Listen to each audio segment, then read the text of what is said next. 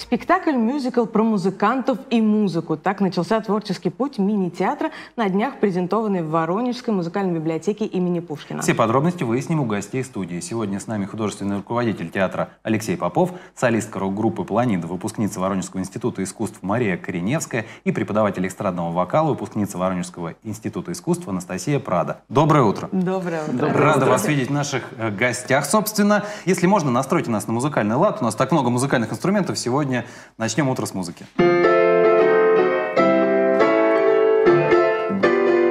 М, теперь Явно мы будем говорить не о театре. Хотя, хотя о театре тоже мы сегодня с вами поговорим. Собственно, вы презентовали свой э, мини-театр. Э, рассказывайте, что это, как это будет. Ну, идея вообще создания этого театра, она существовала очень давно, еще где-то вот с десятых годов.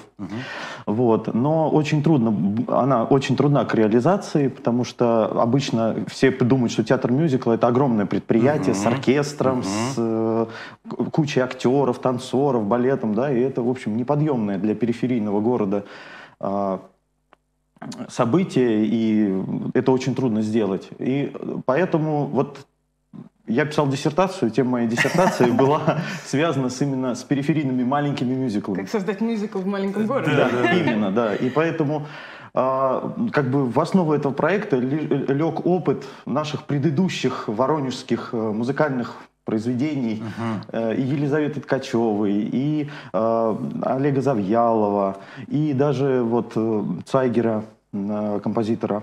Э, Так что вот отсюда мы берем свое начало. Это именно наша воронежская культура.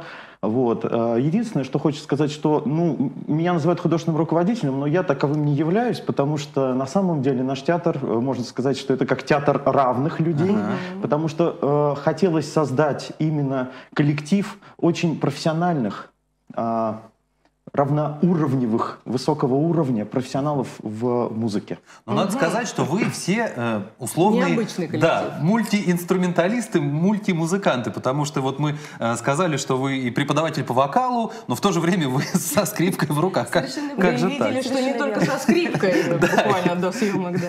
Да, на самом деле э, скрипка это мой первый музыкальный инструмент. Я училась на ней играть с 4 лет, а, но 13 лет я на ней не играла. И так получилось, что мне в нашем первом спектакле досталась роль девочки, которая играет на скрипке. И мне пришлось очень резко и срочно восстанавливать Вспоминать. навыки, уже давно забытые на самом деле, потому что инструмент сложный. Даже э, есть вот маленький секрет. А, тут лады отмечены, да, если не ошибаюсь? Немножко, да. Но мы об этом никому не скажем. Конечно, да, это, да. это абсолютный секрет. Да, а так, да, я преподаю эстрадный вокал. У меня а, большой детский коллектив. Я работаю в Центре дополнительного образования «Созвездие». И, а, собственно, а, наш проект сейчас, в данный момент, а, направлен именно на детскую аудиторию. И это мне безумно интересно, потому что я вижу, какие дети ко мне приходят. И, честно говоря, я иногда, э, ну, как минимум удивлена. Допустим, приходит ребенок, 4 года, стандартно я задаю вопрос, спой какую-нибудь песню. И э, если бы там лет 10 назад мне бы спели «От улыбки станет всем светлей», то сейчас мне поют «Малиновая лада», «Малиновый закат». А, Вы не представляете, как это странно, да, Да. Как минимум. неловко, неудобно, как минимум, да. Но вообще театр, вот в моем понимании, так не выглядит театр.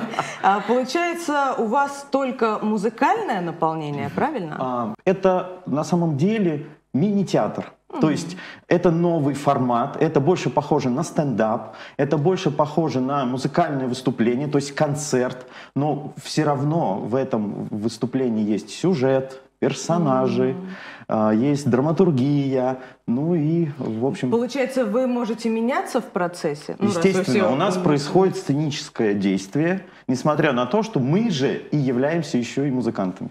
Очень И интересно. авторы, и музыканты, и актеры. Да, да, Получается. потому что очень мало, к сожалению, и материала существует вот такого вот для детей современного, эстрадного, да, и мы и где-то сами слова сочиняем, где-то подыскиваем музыку, где-то можем даже сочинить музыку.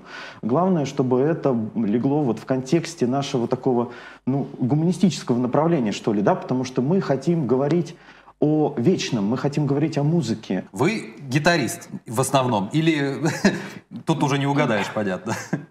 Ну, конкретно э, здесь, Да. в нашей с вами ситуации, я гитарист сегодня. А Кем так, вы можете быть Да, еще? помимо. помимо этого, ну, мы все вокалисты. А, Я умею играть еще на скрипке, а, Ваша на фортепиано. скрипачка на самом деле. А, так вот кто скрипач в вашем коллективе. Это очень сильно запутывает, А конечно. вот эта девочка с гитарой, она оказывается скрипач. В нашем спектакле мы распределяли роли именно по характерам. А. И так как у нас э, Настя, получается, уже умела играть на скрипке, мы подумали, а почему бы и да? Так, хорошо. Ну, а я к чему-то спросил, что гитарист, э, скрипач, кто угодно, музыкант, но это все-таки музыкант, но не актер. Как вам получается быть и актером, ну, актрисой э, в том числе? Вы знаете, музыкант — это тоже своего рода актер. Когда человек выходит на сцену, ему нужно себя преподнести. Мгм. И абсолютно неважно, какой сферы искусства это касается. Давайте я вам немножко предысторию расскажу. Так. Дело в том, что мы все участники такого замечательного проекта в Воронеже, как музыкально-пластический театр. Мгм. Но дело в том, что в этом театре было очень много людей и разного уровня, и профессиональные, и непрофессиональные. И мы все варились в таком общем э, современном музыкально-театральном котле. Мгм. И мне кажется, что э, вот тех ребят, вот которых, которых я нашел, да, э, с которыми мы сегодня пришли к вам, это, наверное, лучшее, что там было. Вот, без обид к другим людям, да, потому что Но вы льстец, конечно, с двумя я девушками пришли. и все-таки я спрашивал, у кого какое образование. Это очень важно. Я тоже на это хочу обратить ваше внимание, что несмотря на современные отношения и кастинговую систему, что это становится неважным, на самом деле это очень важно, потому что э, культура человека лежит в основе. Вот нашего проекта лежит в основе именно культура человека. Мы э, музыку и искусство воспринимаем в чистом виде, без политики, без э, всяких вот, ну, Без наносного. да, да, мы поговорим вот о вечном, мы О поговорим вечном. о музыке. А музыка, она довербальная, понимаете, она до слов, она именно говорит с душой. Ох, предоставим вам сейчас э, нашу такую импровизированную сцену. Поговорите с нами душой. Спасибо вам, что были этим утром вместе с нами. Удачи вам и успехов, конечно же.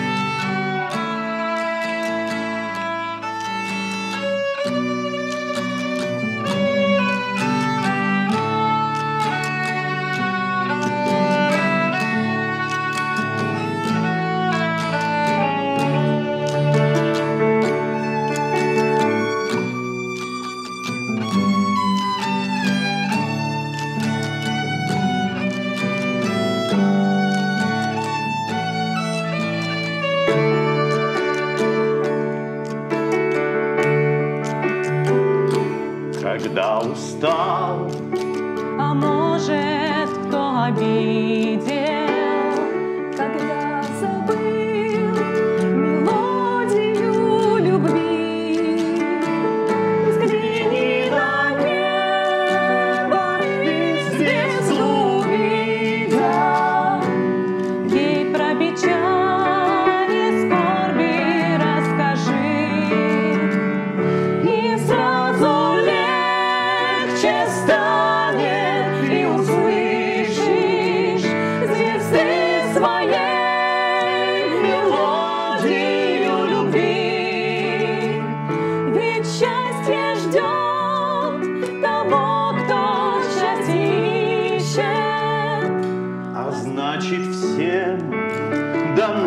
before.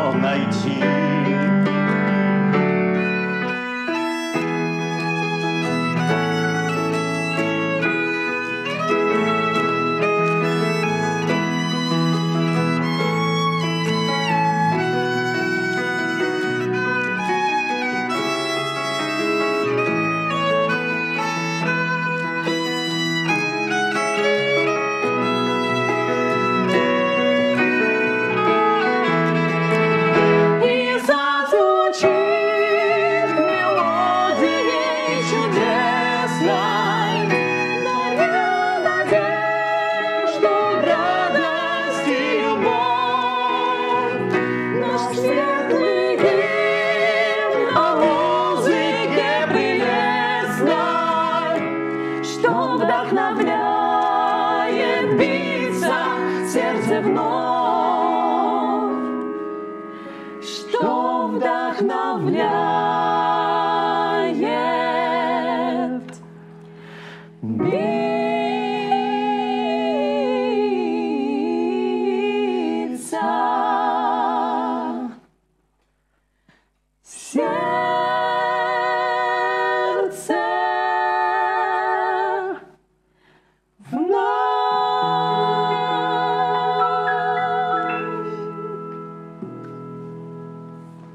Напомним об открытии нового мини-театра мюзикла «Театр Мус». Нам рассказывали художественный руководитель этого театра Алексей Попов, солистка рок-группы «Планида», выпускница Воронежского института искусств Мария Кореневская и преподаватель эстрадного вокала, выпускница Воронежского института искусств Анастасия Прада. Утро вместе продолжается. Оставайтесь с нами на телеканале ТВ «Губерния».